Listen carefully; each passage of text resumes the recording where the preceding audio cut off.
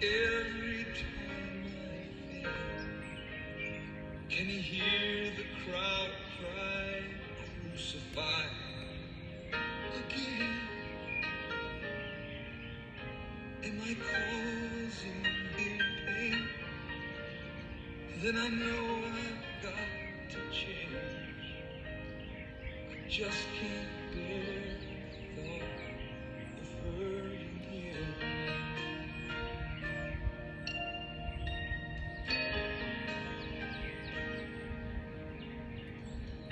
seems that I'm so good breaking promises. And I treat his precious grace so carelessly. But each time